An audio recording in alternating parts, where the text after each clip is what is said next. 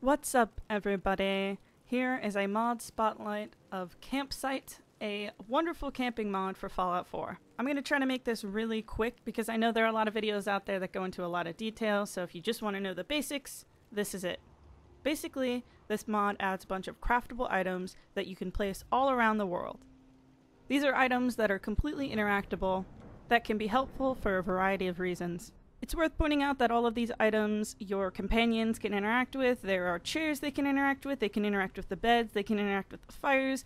They will use the items just as you will, and of course, if you have Lover's Embrace, they will use the same bedroll. When it comes to sleeping, you can craft three or four different items.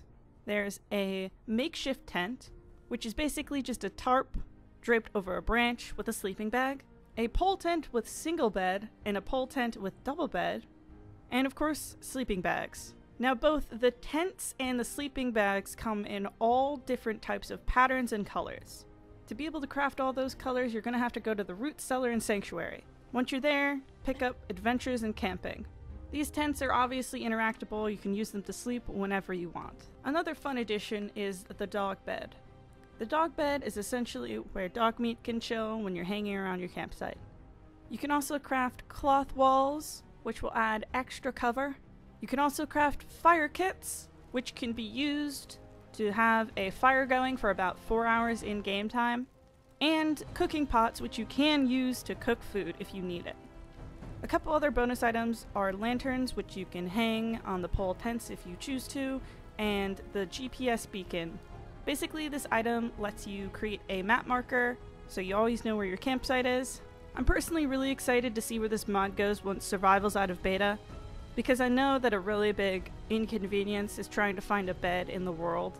But if we can have tents and cooking pots, it means that there's going to be a lot more mobility afforded to us.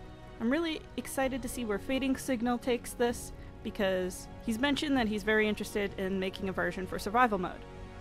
The textures, for all of these items are obviously much higher quality than the vanilla game. This is perhaps the best camping mod that has come out for Fallout 4 yet. I highly recommend that you check it out, give it an endorse, because I have no doubt in my mind that this will be on the hot files for a very, very long time. And if you're interested in another Fallout 4 spotlight, then you can check out my Doing Drugs in Fallout 4 video right on the screen. Go ahead and give it a click. Thank you guys so much for watching. I'll see you next time.